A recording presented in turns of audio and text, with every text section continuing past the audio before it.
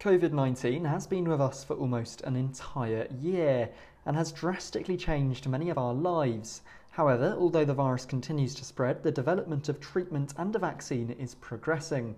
The University of Oxford AstraZeneca vaccine, which is currently undergoing trials, is now being said to produce an immune response in not only young adults but also the elderly.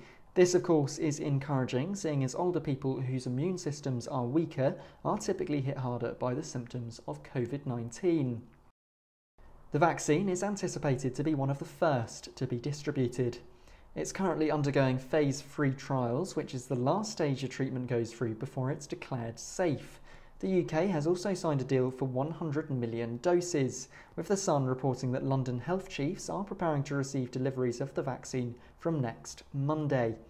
However, the Health Secretary Matt Hancock explained that he did not expect to see a rollout until the first half of 2021, with the bulk of it expected before next summer. Nonetheless, he did not rule out some coronavirus jabs taking place this year. Aspirin may be able to prevent people falling seriously ill or even dying from COVID 19. A daily low dose pill could lower the chance of a patient being sent to the intensive care unit by as much as 40% and could decrease the possibility of death by almost half, according to a new study.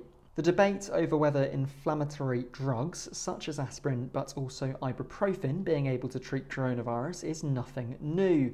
However, studies have shown in the past that the drugs can make symptoms both better and worse. South Korean researchers concluded that other inflammatory drugs, aside from aspirin, increase the risk of death by 65%, while also skyrocketing the risk of serious heart or kidney problems.